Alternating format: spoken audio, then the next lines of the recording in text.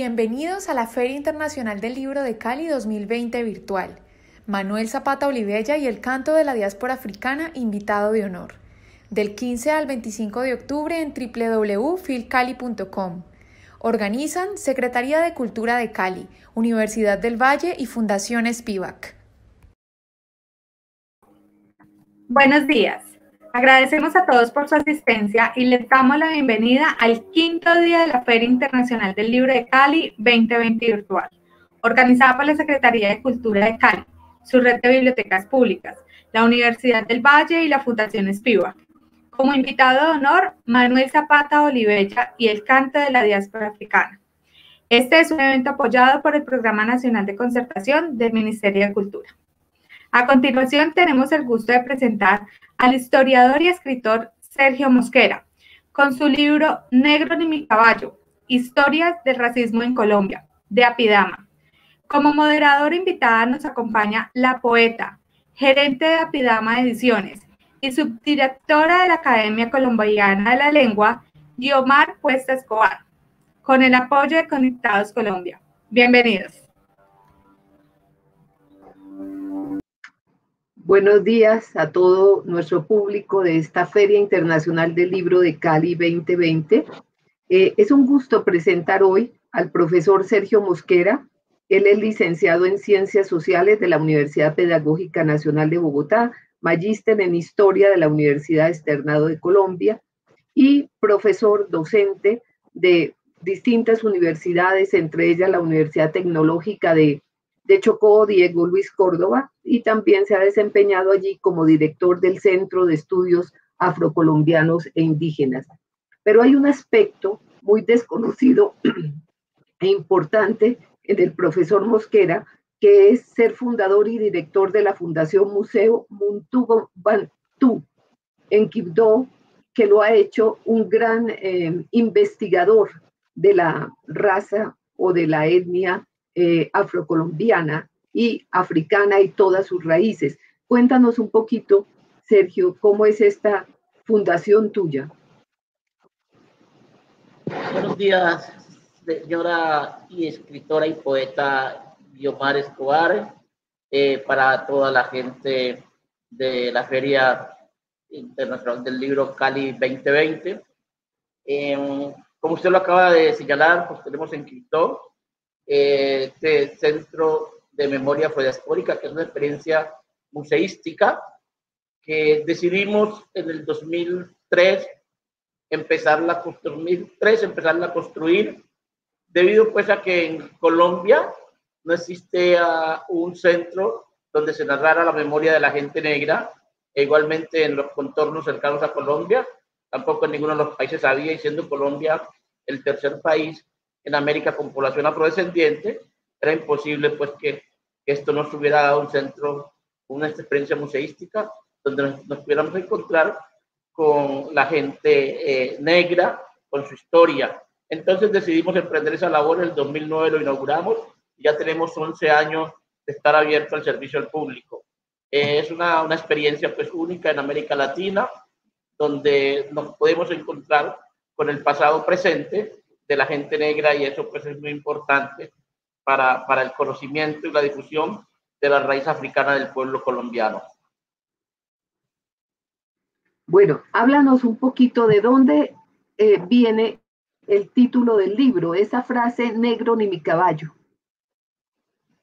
Bueno, en todas estas búsquedas que estamos haciendo por documentar y testimoniar la presencia de la gente negra en Colombia, eh, durante muchas investigaciones siempre estábamos viendo eh, tangencialmente que durante la época de la colonia y durante la época de la, de la República eh, se fue formando una, un discurso en torno a la gente negra e indígena. En mi caso me interesa la gente negra. Y en una de las lecturas, por ahí de esas lecturas perdidas, encuentro que el, el expresidente, presidente para la época, Julio Arboleda, lanza una frase, que era uno de los opositores eh, a la liberación de los esclavizados, pues porque justamente de ello derivaba su riqueza, y lanza esa frase en forma despectiva, peyorativa e insultante, eh, negro ni mi caballo, para significar la distancia que debía tener frente a la gente negra el desprecio que sentía hacia ellos, a pesar pues de que de su trabajo dependía la riqueza de esta familia. Y esto se convirtió en Colombia en una frase donde se derivó también eh, negro ni mi teléfono, negro ni el teléfono, e, etcétera, etcétera, como, como, como una forma pues peyorativa de referirse a nosotros. Entonces, como, como hay un tema que en Colombia es muy espinoso tocarlo, la gente le da miedo abordarlo. Eh, cuando decidí que, eh, que, iba a trabajar un, tema del racismo en Colombia, entonces utilicé esa primera expresión, negro en mi caballo, historia del racismo en Colombia. Entonces de ahí viene el título grande del libro, Negro en mi caballo. Entonces, ahora sí, háblanos de esa historia del racismo, cómo nace y cuáles son los tres personajes que inician el racismo eh, neogranadino. Primero en la Nueva Granada y se, ahí se, extiende a toda Colombia. Perfecto. Eh, tenemos que entender el racismo como una ideología y de las ideologías más profundas, por arriba del capitalismo, por arriba del socialismo, por arriba del totalitarismo. Es una ideología bastante profunda, bastante anclada en la mente de las personas, que lleva más de 300, 300 400 años de haber surgido y nace justamente donde despliegue el sistema mundo moderno colonial. Y en América es donde realmente el racismo adquiere una, una connotación biologicista. Entonces Colombia empieza a, la Nueva Granada empieza a ser eh, heredera de todo, de todo ese, ese legado ideológico, ese legado conceptual de, de, de la corona española, del imperio español. justamente van a haber tres personajes en la Nueva Granada, antes de que surja el Estado neogranadino, que van a ser eh, los ideólogos del racismo en Colombia y coincidencialmente, o tal vez no es coincidencia, tiene una, razón de ser, esos tres personajes van a ser todos payaneses. Ellos son entonces José Ignacio de Pombo, Francisco José de Calda y Camilo Torres. Son los tres grandes ideólogos que antes de surgir el Estado empiezan a sembrar, a, imaginarse cómo sería ese Estado sin la gente negra o, la, el problema que significaba para el Estado neogranadino de la gente negra. Entonces, ahí con estos tres pensadores son los que colocan los cimientos del racismo en la Nueva Granada, que va a ser una herencia que recoge el periodo independentista. Y cuando se consolida la Nueva Granada, el Estado colombiano, ya el racismo hace parte del ADN de la fundación del Estado colombiano. Pero eh, yo quiero que ahondes un poquito en cada uno de estos personajes. ¿Cómo fue su aporte? ¿Cómo fue y cómo trabajaron ellos para crear ese racismo? Perfecto. Eh, un poco José Ignacio de Pombo, que es de la familia de los Pombos de Popayán. José Ignacio sale a estudiar a Santa Fe, Bogotá. De Bogotá se va y se radica en Cartagena y se convierte en un próspero comerciante. Un hombre próspero, fallece en 1812 y José Ignacio, eh, en cierta medida, eh, se enfrenta a la tesis de Antonio de Narváez. Antonio de Narváez sostenía que la Nueva Granada solo podía eh, prosperar si seguía el ejemplo de las colonias inglesas y francesas en el Caribe, es decir, de Jamaica, de Santo Domingo, eh, eh, ¿Y cómo, cómo, cómo es la prosperidad de estas colonias? Con la importación de esclavizados. Que había que importar esclavizados porque eran los únicos que trabajaban. Ante esa propuesta eh, de, de, Antonio Narváez, José Ignacio Pombo reconoce la importancia de la mano de obra, pero le teme a que esa mano de obra que importen a la Nueva Granada para aumentar la prosperidad pueda seguir el ejemplo de los, de, sus, de los esclavizados en, en, en, en Santo Domingo. Las revueltas que, se habían hecho y justamente la parte de Haití se habían tomado el poder. Entonces Antonio Narváez dice que hay que confundirlos y la forma de confundirlos es mezclándolos con las clases bajas, de tal manera que se diluya la sangre africana y con el tiempo ellos no sepan a qué grupo étnico pertenecen, porque se tornarían en un peligro para la estabilidad social y política de la Nueva Granada. Es decir, ante el miedo que, haya una caribeñización o una haitianización de la Nueva Granada, lo que, lo que Pombo dice, esa mano de obra es importante, pero tenemos que confundirla para que no nos suceda lo que sucedió en el Caribe. Eh, de otro lado, encontramos el caso de Francisco José de Caldas, el sabio Caldas, también payanés, que lo conocemos especialmente cuando sale de Popayán eh, y se radica también en Santa Fe, Bogotá, y cuando lo nombran pues, en, el, en, el, en, el, Observatorio Astronómico, y Francisco José de Caldas, continuando con algunas tesis de moda en Europa, lo que hace es plantear el determinismo geográfico y el determinismo eh, racial. Entonces, todos sus estudios eh, se están orientados a, a, a, demostrar que la raza blanca es la raza que tiene la, eh, la misión de llevar la civilización a las otras razas y que por debajo de determinados del nivel de los de, sobre el nivel del mar, determinados pisos térmicos se encuentra la raza negra que no aporta a este país y que la civilización tiene que bajar desde los Andes. Entonces, encontramos en Francisco José de Caldas unos trabajos importantes desde el punto de vista de la geografía para imaginarse y construir las fronteras interiores del país, pero entre esas fronteras físicas, entre esas fronteras, fronteras geográficas, también incluye las fronteras étnicas para jerarquizar el país de acuerdo a la raza, de acuerdo a la raza y, su, y por ende la raza negra le concede el último nivel en la pirámide sociorracial. En esta misma línea también vamos a encontrar a otro payanés, primo del anterior, Camilo Torres y Tenorio, eh, que, que, propone eh, o que sostiene que los blancos granadinos son españoles granadinos, no son españoles de España. Como estado excluidos del poder, teniendo sangre española, entonces lo que, lo que él plantea de fondo es que ellos tienen que ser los herederos del poder político y social de España. Es decir, una revolución donde hay una transferencia de poder del blanco español al blanco granadino. Y efectivamente lo que nosotros vemos en la guerra de independencia es una transferencia de poder político, económico y social que se va a mantener intacta hasta mediados del siglo XIX, es decir, hasta más allá, un poquito más allá de las reformas del medio siglo. Entonces, estos tres personajes son los ideólogos del racismo que después lo va a recoger Bolívar en la guerra de independencia, cuando una cierta, un cierto grupo de las castas de mulatos intenta cambiar la guerra de raza, la guerra de independencia por guerra de razas. Entonces aflora en Bolívar toda esta, toda esta herencia racista, el trato que le da a, a, a estos héroes que han luchado por la independencia, que han derramado su sangre por la independencia y los van a dejar en la misma condición que venían desde la colonia. Entonces, en resumen, Pombo nos va a hablar de, eh, de, del blanqueamiento, solucionar el problema de las razas en Colombia a través del blanqueamiento y confundir a los negros a través blanquearlos con razas superiores. Eh, eh, eh Francisco de Caldas nos va a hablar del determinismo geográfico y racial. Y Antonio, y perdón, y Camilo Torres nos va a hablar con claridad que los blancos son los únicos que están preparados para mandar en este país y por tanto los negros no tendrían espacio en él.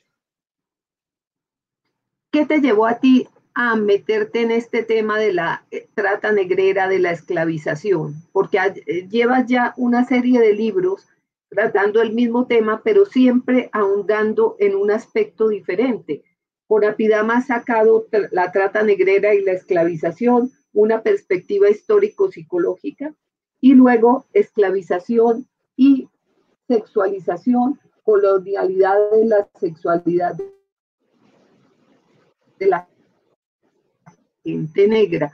¿Qué, te ha motivado a, hacer ese estudio y a continuar en el mismo tema? Bueno, cuando hace algunos años cuando decidí, eh, cuando abordé el tema de pasar de la oralitura a la escritura, tuve la claridad, la iluminación que iba a trabajar un solo tema, que era el tema afro, pero de diferentes aspectos.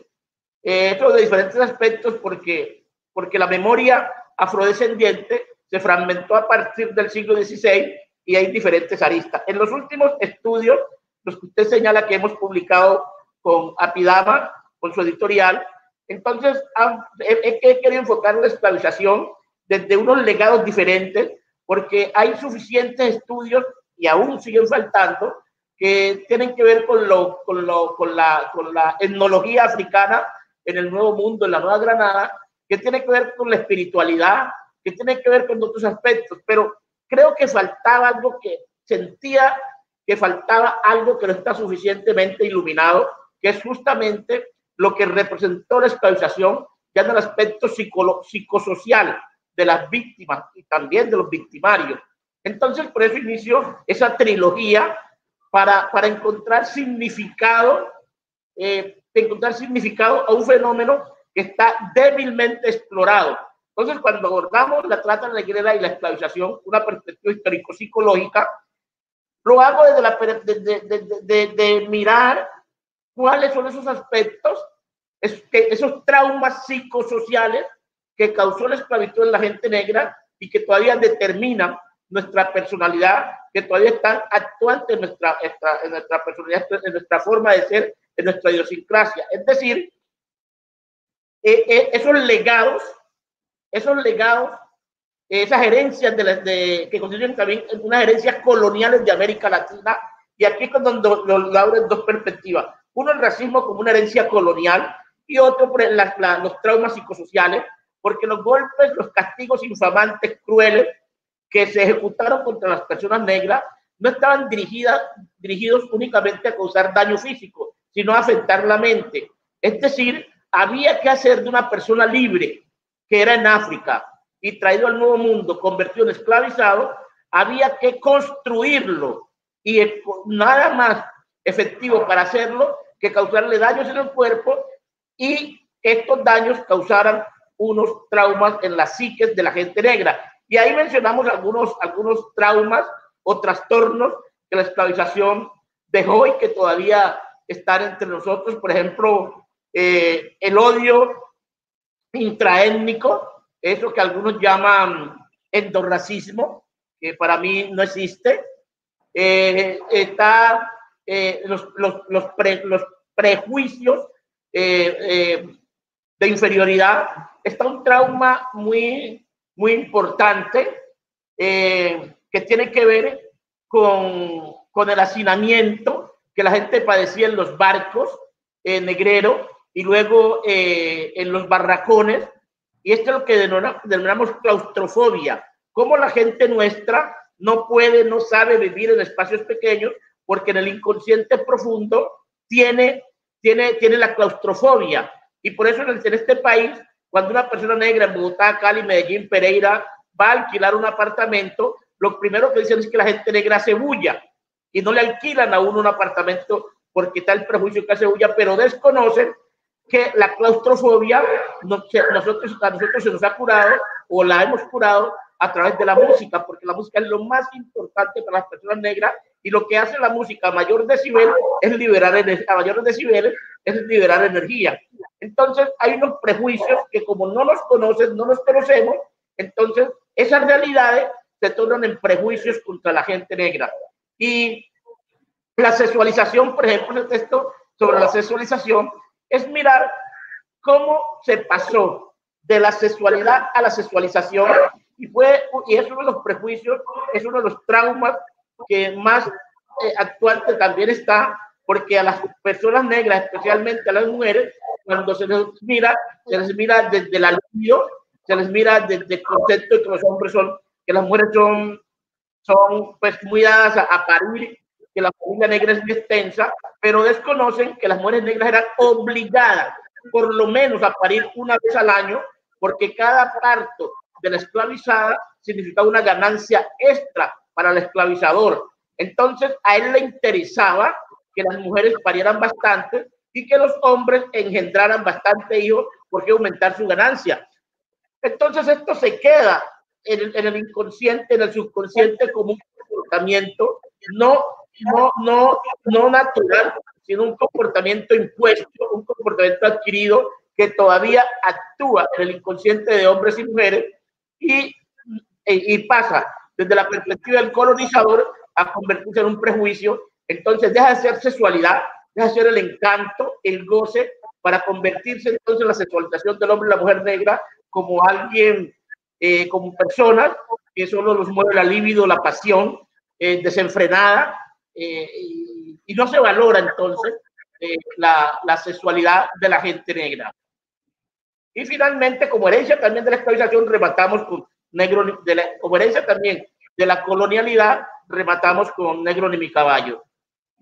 Y ese tiene una importancia y es conocer toda esa historia de cómo se inició estos tres personajes eh, de Popayán, pero ahora cuéntanos cómo ellos, otros vinieron también a reforzar, ya sean Camacho Roldán o Jiménez López, algunos personajes como ellos. Bueno, es que el siglo, lo que no nos ha contado la historia oficial, es que durante todo el siglo XIX, el debate más grande que hubo en Colombia fue, digamos, entre comillas, el problema, de la, el problema negro. ¿Qué hacer con las personas negras? ¿Cómo ubicar a las personas negras de este estado naciente? Un poquito antes de estos señores que usted nos acaba de mencionar, nos vamos a encontrar con la famosa comisión coreográfica. La comisión coreográfica, que es muy importante, el ejercicio de por primera vez intentar ordenar la república, darle límites a la república, mapear la república, tenía una intencionalidad de la cual casi no se ha hablado, que también era la intencionalidad de describir las regiones desde el punto de vista de la geografía humana y poder asignarle un lugar a la gente negra. Y cuando uno estudia, revisa los informes de la Comisión Coreográfica, va a encontrar en CODASI todos sus miembros como de una vez siempre, tanto en, el, en, el, Magdalena, en la costa caribe, tanto en la costa pacífica, la descripción que hacen de las personas negras es como indolentes, perezosos, que viven eh, de lo que dan a la naturaleza. Pero claro, había que construir, alimentar un discurso al interior de la República que permitiera mantener a las personas negras e indígenas, y sobre todo las personas negras, en ese estado de ostracismo, en ese estado de postración. Mire, la, la, la Comisión Coreográfica arranca en 1853 y apenas tiene tres años, o digamos dos años, de haberse abolido la esclavización, porque ella entró en, vigor, en, vigor a partir del 1 de enero de 1852. Y pues claro, en, en 1853 Todavía la gente tiene el cansancio físico y mental de 300 años de sometimiento y ya quería Ancodazzi y los demás creer que, tenía, que estaban en capacidad de, de, de, incapacidad de estar en igualdad con las personas blancas. Entonces luego vienen todos los señores, unos pensadores, a discutir el problema negro durante el siglo XVIII, XIX, entre ellos los hermanos Samper, entre ellos Salvador Camacho Roldán, eh, que ubican entonces, ese, ese, a, las personas negras dentro de ese imaginario y lo siguen reforzando. Y el siglo XX empieza con un debate bien interesante, un debate bien importante, eh, liderado por tres ministros, justamente titulado El debate del problema de la raza en Colombia. Entonces, ese es, el blanqueamiento, el blanqueamiento del país. Y esta gente piensa, mira en todos sus estudios, recoge todo el pensamiento del siglo XIX, el pensamiento de Caldas del siglo XIX, y van a mirar nuevamente que las personas negras e indígenas, y especialmente las personas negras, son una mácula para el desarrollo del país, una mácula que hay que estirpar. Y dicen que los países que han progresado son los países donde no existe el elemento negro. Colocan el caso de Argentina para, para ubicarnos con mayor cercanía. Entonces lo que ellos plantean, eh, Luis López de Mesa y, y, y, demás, plantean el blanqueamiento. Y esa tesis del blanqueamiento, esa tesis de la eliminación del negro y el indígena va a estar, va a estar en el ambiente político colombiano y la violencia política que arranca en su fase eh, más cruda eh, en los años 40, también va a representar ese proceso, esa, esa, esa idea de limpiar la raza colombiana, del blanqueamiento de la raza colombiana. Entonces se procura eh, continuar con, lo que hizo, con, el imaginario de 1886, del que el país se define una raza, la española blanca, una religión, la católica, y una lengua, el castellano. Esto alcanzó a, penetrar hasta, hasta la violencia de, de mediados del siglo XX. Entonces, este debate de la raza en Colombia eh, eh, de principios del siglo XX es bien importante porque alcanzamos a leer, cuando, eh, cuando estudiamos los pensamientos de estos señores, vemos cómo se retrotrae lo mismo que planteaba Caldas, lo mismo que planteaba Pombo en a, a, comienzos del siglo XIX. Entonces podemos ver que la fundación del Estado colombiano se hace sobre la hegemonía de un grupo que ya no se llama eh, españoles granadinos, sino que se autodenominan blancos y niegan inclusive su herencia indígena para aproximarse más a la blanquitud. Es la instauración de la, de la, de, la soberanía, del poder blanco, ¿no es cierto?, en, en Colombia. Bueno, y, y Laureano Gómez ahí, ¿qué papel juega? Bueno, lo, eh, lo dije entre líneas, ¿no es cierto? Si nosotros analizamos el pensamiento de Laureano Gómez, se nutre de esa ideología racista de, de, de estos pensadores del, de principios del siglo XX, con el desprecio con que Laureano Gómez se refiere a la gente negra y a la gente indígena. Entonces, por eso lo digo entre líneas, de, que la violencia política, la violencia liberal conservador, conservadora, es un intento también de, de, de, eliminar esas razas inferiores que habían en la República.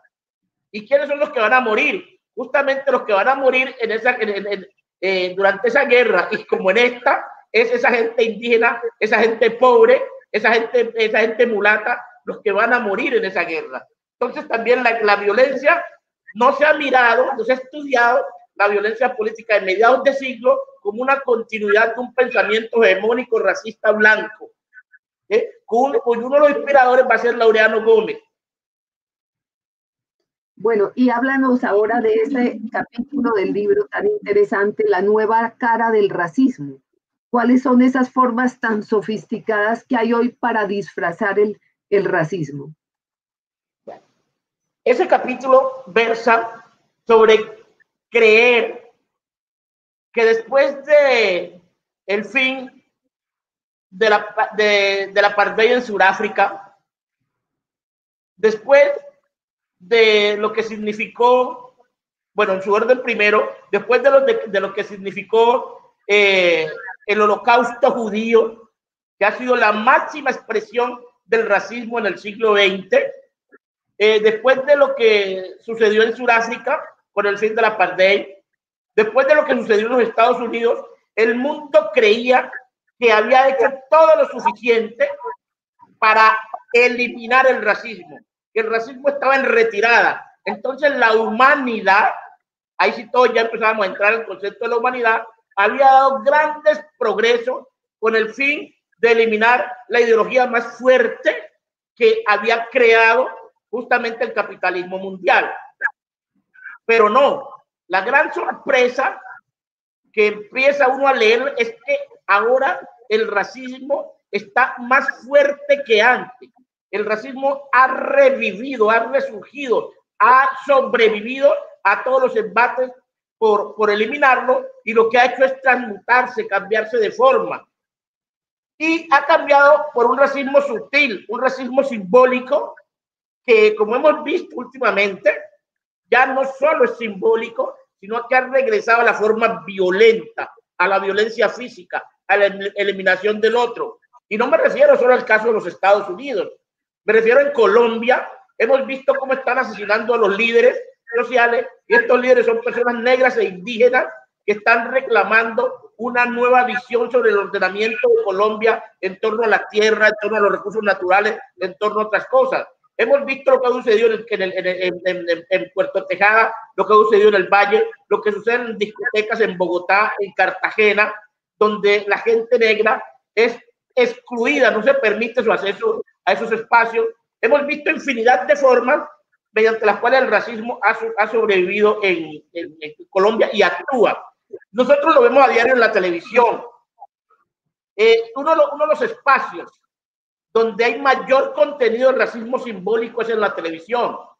Y ni se diga de los programas infantiles que existen en la televisión colombiana y ahora con toda la globalización ya vemos que hay canales especializados en programas infantiles y esos programas especializados en esos programas especializados en contenido infantil hay que leerlos también desde esa perspectiva, no solo de la ausencia de, de las personas negras, sino como el niño blanco se le va enseñando, se le van inculcando los conceptos de una supremacía blanca y se van preparando a ver el mundo en blanco y negro, donde por supuesto ellos están en la cúspide, en la pirámide de esa sociedad y cuando aparecen las personas negras aparecen para mandarlo, entonces, para ser, para ser mandado.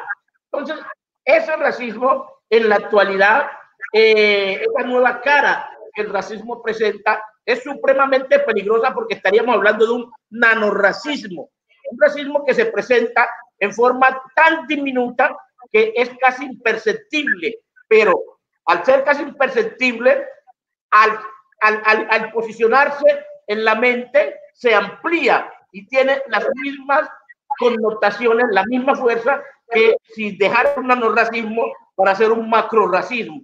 Entonces hay formas muy sutiles de dominación racista y nadie lo asume.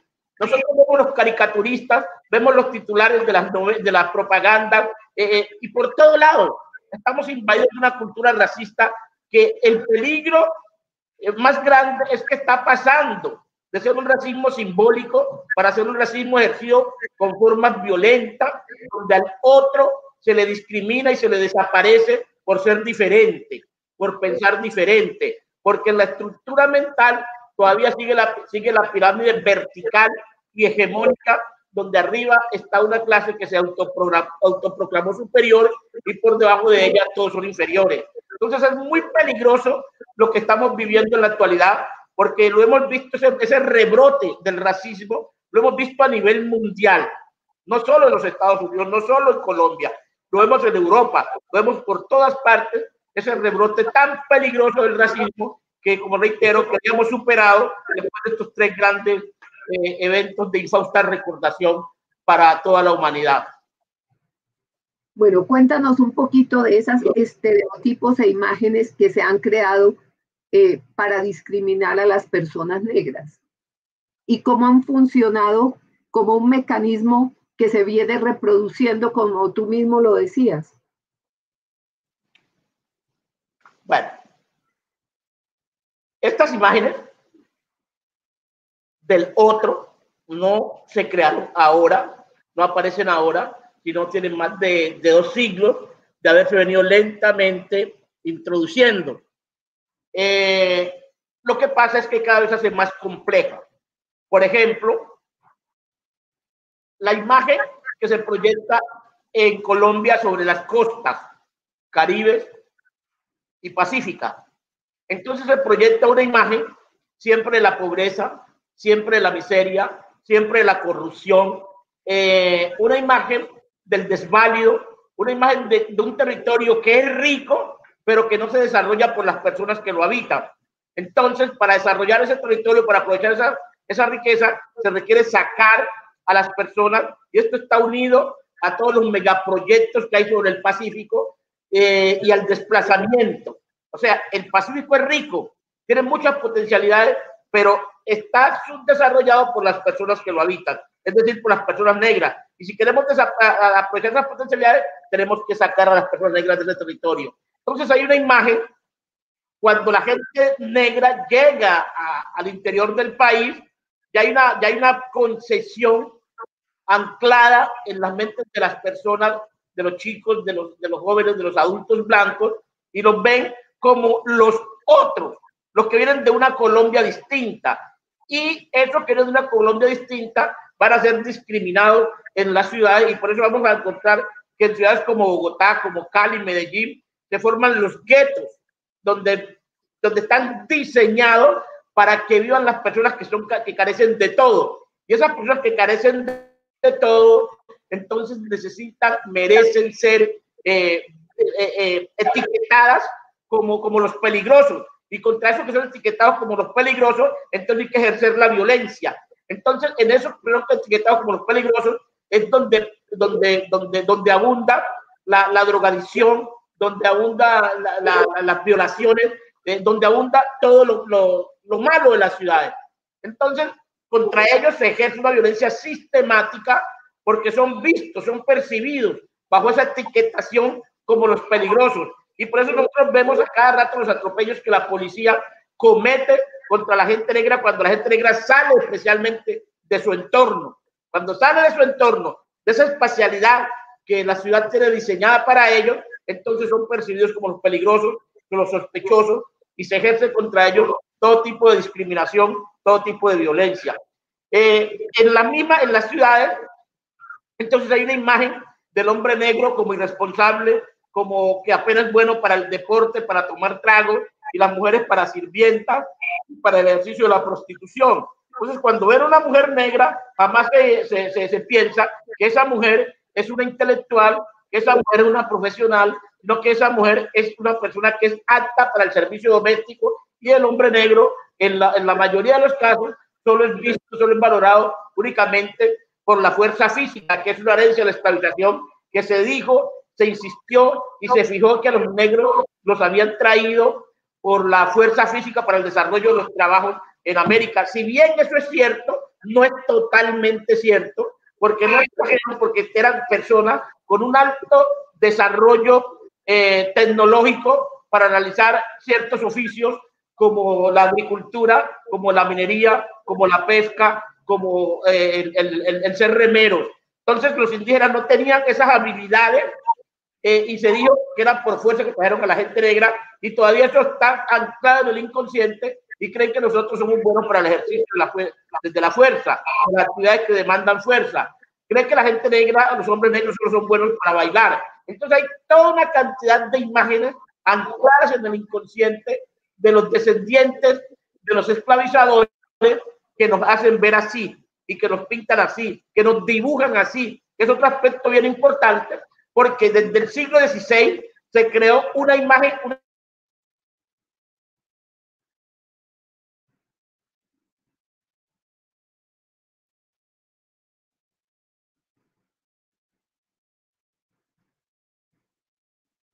Bueno, se dañó la conexión y, yo quiero que no, que no se pierda eh, esta charla tan importante porque eh, Sergio Mosquera en sus libros ha ahondado, como nos ha dicho, sobre todas las consecuencias que la trata negrera tuvo en los esclavizados y que todavía subsisten después de muchas generaciones en las personas de hoy día.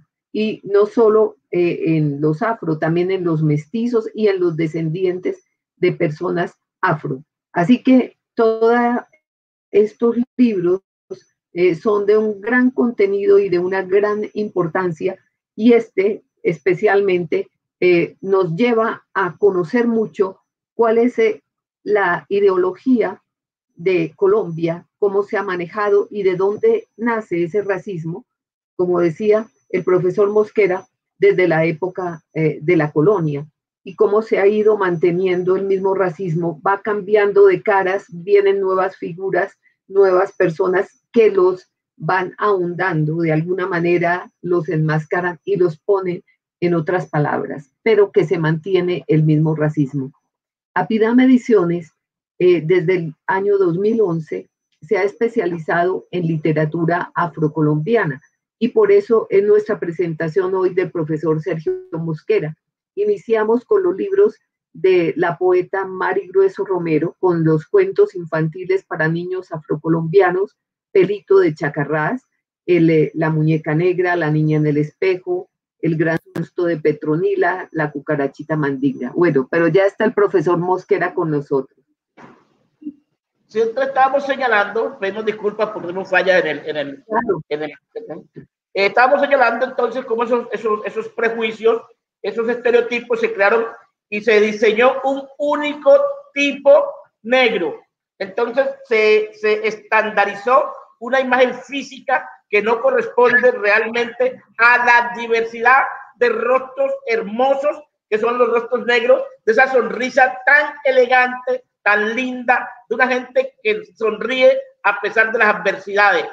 Entonces, cuando la persona blanca que tiene los prejuicios, a veces también en forma inconsciente, se encuentra con la persona negra, cree, se lo imagina que es así, como se lo han pintado, como se lo han dibujado, con toda la carga peyorativa que desde temprana edad y por todos los medios de comunicación lo han estado bombardeando. Y pues lógico, eso de entrada lo que le produce es un rechazo, una negación, que entre otras cosas están negando la diversidad de Colombia, la riqueza de Colombia, el patrimonio cultural más importante que tiene este país es justamente la diversidad de culturas, la diversidad de pensamientos, la diversidad de identidades. Colombia es una suma de identidades y eso precisamente lo hace rico y no hemos podido aprovechar toda esa riqueza para potenciarla por los prejuicios del racismo que todavía existen entre nosotros. Hay una pregunta de Adiela Gil que dice, ¿en el manejo del concepto de afrocolombianidad hay racismo? No, lo que justamente queremos es sacudir el racismo a través de no seguir etiquetando a la población de descendientes africanos como negros, porque el negro es una categoría que surgió de la biología y ha servido para crear una escala cromática, pero a su vez eh, esa categoría fue auto, fue, perdón, fue impuesta por Europa. La gente africana y sus descendientes nunca se autoproclamaron como negros. Entonces, cuando nos reinventamos el técnico afrodescendiente, estamos recuperando nuestra identidad y decir que nuestra historia no empieza en el siglo XVI cuando nos traen a América, sino que nuestra historia es milenaria y que tuvo sus orígenes en África. Entonces, hay una diferencia grandísima, hay un abismo grande entre decir negro y decir afrocolombiano o decir afrodescendiente. Hay otra pregunta de Adiela Gil que es muy importante. Ella dice que entonces Bolívar fue racista. Hasta los tuétanos. Todo su pensamiento. Yo totalmente de ti porque su, su nana fue una mujer negra, Hipólita, y tú no sabes lo importante que fue la vida de él. Y ya mayor le escribe a su hermana diciéndole que cuidara de Hipólita como si fuera su madre, que la única madre que él reconoce y que tuvo presente fue Hipólita, y eso le marca la vida.